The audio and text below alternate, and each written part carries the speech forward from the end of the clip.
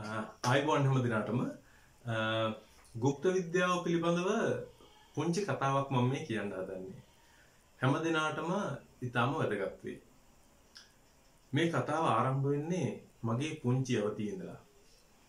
අපේ තාත්තලා සීයලා ඒ වගේ වැඩිහිටියෝ මේ ගුප්ත විද්‍යාව සම්බන්ධව ඒ අය ලබපු අත්දැකීම් පිළිබඳව පුංචි කාලෙදිම මගේ ඔළුවට වැටලා තිබුණා. ඉතින් මේ පිළිබඳව තොරතුරු හොයන්න ලොකු ආසාවක් සහ කැපවීමක් මම මගේ තරුණ අවදියේදී කළා. ඉතින් ඒ ඔස්සේ හොයාගෙන හොයාගෙන යනකොට මට හම්බ වුණා গুপ্ত විද්‍යාව සම්බන්ධව ඉතාමත්ම දක්ෂ গুপ্ত විද්‍යා ආචාර්යවරුන්ගේ પરම්පරා තුනක්. પરම්පරා තුනක්. පොඩි මේ પરම්පරා තුනේ පොඩි පොඩි සම්බන්ධතා සම්බන්ධතා ඒ කියන්නේ නෑදෑ සම්බන්ධතාත් තිබුණා.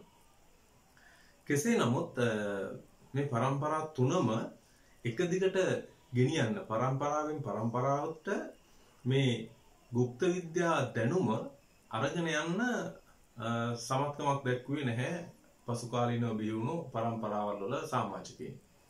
ඉතින් කෙසේ නමුත් මේ සියලුම පොත්පත් ඒ දැනුම গুপ্ত විද්‍යාව පිළිබඳ දැනුම එක තැනකට කැටි වුණා අවසන් භාගයේදී.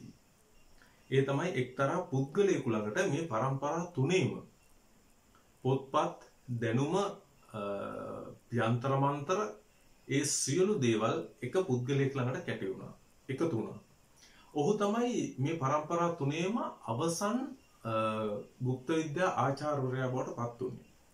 ඉතින් මම අර කියවනේ මට පොඩි කාලේ ඉඳලම තිබුණු මේ ගුප්ත විද්‍යාව පිළිබඳ තිබුණු ආසාව නිසා, ඒ කියන්නේ මේ ගුප්ත විද්‍යා ආචාර්යවරයෙක් වෙන්න තිබුණු ඌමනාවක් නෙවෙයි කට්ටණියෙක් කියලා අපි කියන්නේ. කට්ටණියෙක් වෙන්න කිසිම අවශ්‍යතාවයක් හෝ ඌමනාවක් මට තිබුණේ නැහැ. නමුත් මේ ගුප්ත විද්‍යාව තුළ තියෙන්නේ මොනවද? කොහොමද මේ දේවල් සිද්ධ වෙන්නේ කියලා මේ තොරතුරු හොයන්න ලොකු ආසාවක් මට තිබුණා. ඉතින් ඒ නිසාම මම අර කියපු પરම්පරා තුනේ අවසන් පුරුක බොහොම ළඟින් ආශ්‍රය කරන්න කටයුතු කළා. ඒ ඉතා ළඟින් සමීපව ආශ්‍රය කිරීමය තුළදී ඇතිවුණු හිතවත්කම් සහ එකඟතා නිසා මේ වෙනකොට මට ලොකු දෙයක් ලැබිලා තියෙනවා. අන්න ඒ දේ පිළිබඳව ඔබව දැනුවත් කිරීම සහ දිගින් දිගටම ඒ ලැබුණු මා වෙත ලැබුණු ඒ මහා වටිනා දෙයින් ඔබවත් සන්නද්ධ කරන්න. ඒ දැනුමින් ඔබවත් සන්නද්ධ කරන්න තමයි මම මේ සූදානම් වෙන්නේ. ඒ අවසන් පුරුක මෙන්න මේ විදිහට ලිපියකින් දැනුවත් කිරීමක් කරනවා. මේ ලිපියේ තියෙන මොනවද කියලා මම ඉදිරියේදී සඳහන් කරන්න. ඒ අවසන් පුරුක වුණු මේ මහා දැවන්ත ගුප්ත විද්‍යා ශාස්ත්‍රයක් දරාගෙන සිටපු પરම්පරා තුනේ අවසන් පුරුක මෙලොවින් සමුගෙන යන්නේ දැනට වසර කීපයකට ඉහතදී. එතුමාගේ දූ දරුවන් විසින් එතුමාගේ මේ ගුප්ත විද්‍යා දැනුම සම්බන්ධව පෙට්ටගම් කබඩ් ඩල්මරි අස් කරනකොට හම්බ වෙනවා මේ සියලුම දැනුම ඇතුළත් වුණු මේ පොත්පත් මට වාර දෙන්න කියලා. එතුමා ලියලා තියලා සටහනක් කරලා තමයි එතුමා මිය පරලොව ගොස් තියෙන්නේ. ඒ කියන්නේ මිය පරලොව යන අවස්ථාවේදී එතුමාට අවස්ථාවට කලින් එතුමා ඒ දේවල් සකස් කරලා තිබිලා තියෙනවා. ඉතින් මේ ලියවිල්ලට ගරු කරමින් මේ ලියවිල්ලට අනුකූලව එතුමාගේ දරු මුණුබුරන් විසින් ඒ සියලුම ශාස්ත්‍රය අඩංගු පොත්පත් මේ දේවල් මට ලැබෙන්නට සලස්වල තියෙනවා මේ තියෙන්නේ එතුමා පාවිච්චි කරපු පන් හිඳ. මේ තියෙන එතුමාගේ පුස්කොළ පොත්. මේ තියෙන හඳහන් ලියපුවා. පුස්කොළ පොත් තියෙනවා විශාල ප්‍රමාණයක්. තවත් තියෙන පුස්කොළ පොත්. ඒ වගේම මේ යන්ත්‍ර ඇඳපුවා. මේ පෙට්ටිය මට පෙන්වන්න පුළුවන්. මේ පෙට්ටිය පුරවලා තියෙන්නේ යන්ත්‍ර මන්ත්‍ර පිළිබඳව ලියවුණු පොත්පත් ඉතින් එතුමාට විශ්වාසයක් තිබිලා තියෙනවා මේ දේවල් මම ආරක්ෂා කරයි මේ දේවල් වලට සාධාරණයක් ඉෂ්ට කරයි කියලා. ඉතින් ඒ නිසා වෙන්න ඇති එතුමා මෙලොවින් සමුගන්නා මොහොතේදී මේ එතුමා සතු පරම ධනය මේ විදිහට මා වෙත ලැබෙන්නට සලස්වලා එතුමන් මිය පරලොව ගිහිල්ලා තියෙනවා. මේ තියෙන ලියවිල්ල. ඉතින් කෙසේ වෙතත් මම විශ්වාස කරනවා මේ දේවල් පොත්පත් පෙට්ටගම් වල දාලා හංගලා අල්මාරි වල දාලා වහලා හංගලා තියාගෙන හිටියට කාටවත් ප්‍රතිඵලයක් ලැබෙන්නේ නැහැ.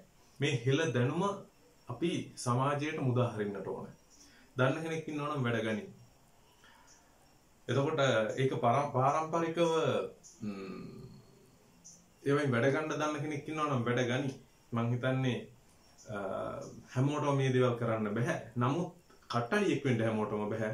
නමුත් මෙහෙම දේවල් මේ හෙළ සංස්කෘතිය ඇතුලේ හෙළ දැනුම ඇතුලේ මේ වාගේ දේවල් තිබුණා කියන එක දැනුමෙන් සන්නද්ධ වීමත් ඉතාම වැදගත් කියලා මම විශ්වාස කරනවා. එහෙමනම් මම මේ මට ලැබුණු ධනය මේක ධනයක් ධනස්කන්ධයක් මට නම් මිල කළ නොහැකි දැනුමක් මෙතන තියෙන්නේ. මම පොත්පත් පොඩ්ඩක් එහෙම මෙහෙම කියවලා බැලුවා.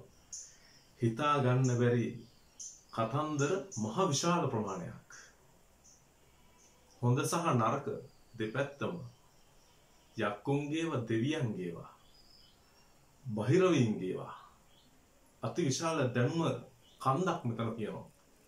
ඉතින් මේ දේවල් මම කැමති ඔබත් සමග බෙදා ගන්න.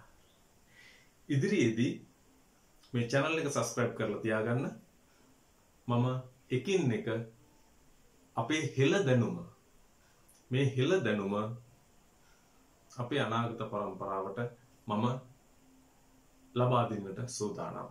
එහෙමනම් channel එක subscribe කරලා මාත් එක්කලා ඉන්න දිගින් දිගටම ඔබව කට්ටලියෝ කිරීමේ අරමුණින් නොවේ පැහැදිලිවම මේ පොත්පත්වල පුස්කොළ පොත්වල මේ පෙට්ටිවල මේ හැම තැනම් මේ තියෙන දේවල් වල සාරය අරගෙන කොටස් වශයෙන් මම ඔබට ඉදිරිපත් කරනවා මෙවන් දැනුමක් අපේ මුතුන් මිත්තන් තුළ තිබුණු බව ඔබේ මනසේ තැන්පත් කරන්න. එයයි මගේ එකම බලාපොරොත්තුව.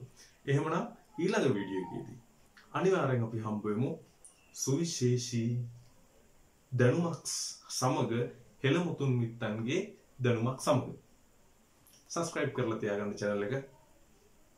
ජය වේවා.